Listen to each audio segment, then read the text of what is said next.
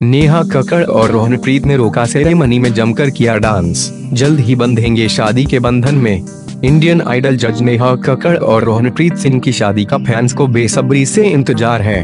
दोनों relationship official करने के बाद साथ में सोशल मीडिया पर तस्वीरें शेयर करते रहते हैं। दोनों को साथ में देखने के बाद फैंस शादी के उत्साहित हो गए हैं। नेहा और रोहन का रोका हो गया है। रोका सेरेमनी का वीडियो नेहा, कक्कड़ ने सोशल मीडिया पर शेयर किया है। रोका सेरेमनी में नेहा और रोहन जमकर डांस करते नज़र आ रहे हैं। दोनों ने अपना रोका सेरेमनी को खूब एंजॉय किया है। नेहा ने वीडियो शेयर करते हुए लिखा दवाया वीडियो कल रिलीज़ होगा।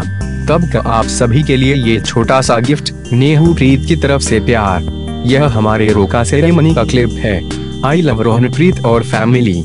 माँ, पापा, ये बेस्ट इवेंट थ्रो करने के लिए शुक्रिया। रोका सेरेमनी में नेहा ने पिंक कलर का शिमरी ड्रेस पहना था। वहीं रोहन ने पीच कलर का कुर्ता पहना था।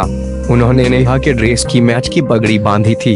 दोनों ही रोका सेरेमनी में बहुत प्यारे लग रहे थे। नेहा ने हाल ही में अपने इंस्टाग्राम अकाउंट से वीडियो शेयर किया था और बताया था कि वीडियो तब का है जब नेहा रोहनप्रीत के माता पिता से पहली बार मिली थी। इस वीडियो में दोनों एक दूसरे का हाथ पकड़े हुए नज़र आ रहे हैं। वहीं कुछ लोगों को फिर भी कंफ्यूजन थी कि क्या ये वीडियो नेहा कक्कड़ के रो की, की है। तो नेता ने खुद इस बात का जवाब दिया।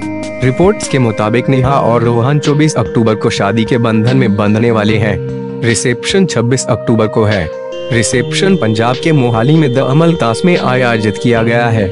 नेहा के शादी के कार्ड की तस्वीरें सोशल मीडिया पर वायरल हो रही हैं।